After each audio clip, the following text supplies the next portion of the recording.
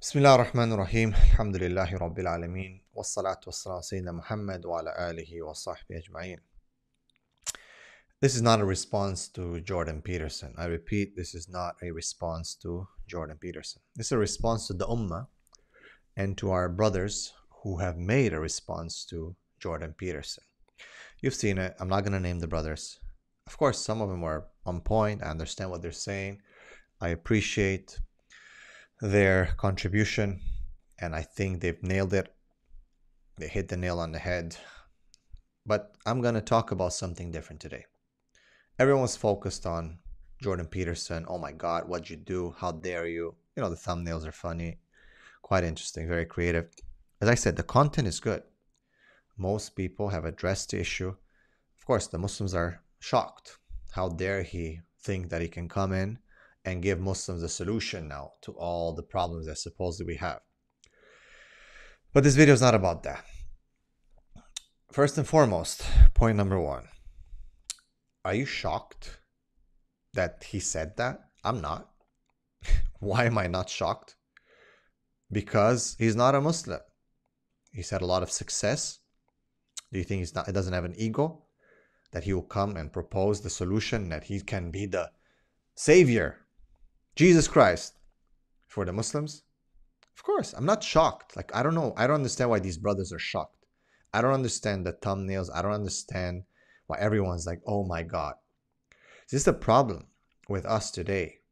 We're suffering from this inferiority complex. And we put our eggs in one basket. We put our hopes out of all people into non Muslims.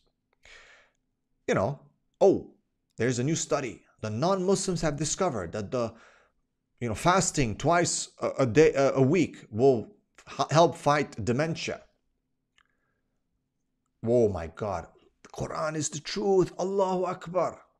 Everyone's happy. Finally, their iman is boosted because the non-Muslims have confirmed that fasting twice a week can help fight dementia. It's a true study, by the way. Why do we need these people. Now, I'm not saying, look, it's great that people have interactions. Jordan Peterson was talking talking to different Muslim speakers. Great. But why are we putting our hopes in these people? And then when they disappoint us, all of a sudden we just cancel them. Can you benefit from Jordan Peterson?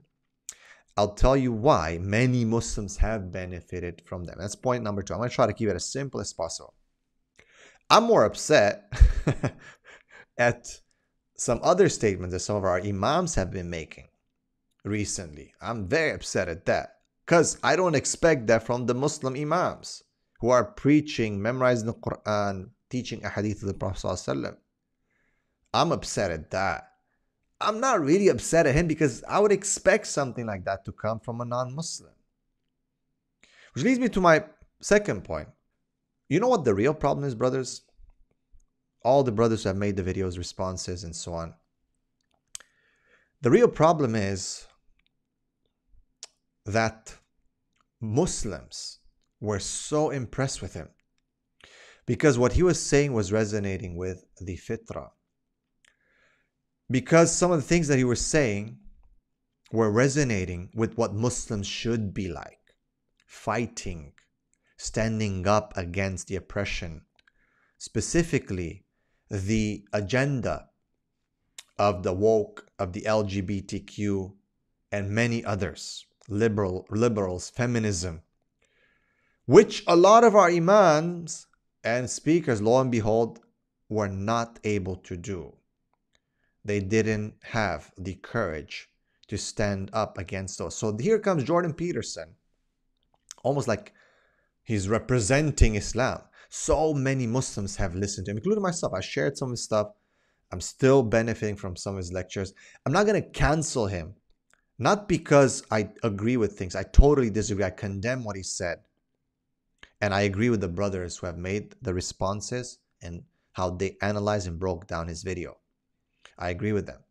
I totally disagree with Jordan Peterson. But he's a psychologist. He's got a lot of knowledge and there's a lot of benefit. Having said that, having said that, I condemned every single word he said, every idea he has. It's totally wrong, ludicrous. He doesn't know what he's talking about. And it's his ego. It's because we don't have representation. None of our imams have stood up to the extent that he did to go against the LGBTQ, against feminism, and others. So Muslims saw in him like a representation of what Islam should be or what Muslims should act like. And when he's gone the other way, which is very expected, he's a kafir. Sorry, excuse me, you know, for being so direct. But this is the reality. Why do we have, do we need Jordan Peterson to represent us? You know, it reminds me of something interesting a few years ago. It just shows the condition that we're in. It just shows that we have a problem. We don't have representation. When Khabib was fighting Conor McGregor, so many Muslims came back to Islam. It, it was almost like, wow, this is the fight between Haqq and Batil. Come on, are you kidding me? I, I love Khabib as a guy, you know, may Allah bless him. There's a lot of things I don't agree with him, of course. That discussion has been way past. But why? The, I'm talking about the reaction of the Ummah. That's why my video today, I'm not focusing on Jordan Peterson. I'm talking about the reaction of the Ummah to him disappointing us. Look at the reaction of Ummah when Khabib was fighting McGregor. It's because there's no one who could represent that strength and honor part of Islam other than an MMA fighter to stand up against someone who has insulted Islam.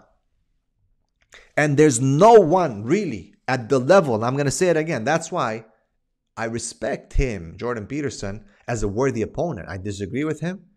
I hate what he said. We haven't created anything that can replace him. So we need to fill him in.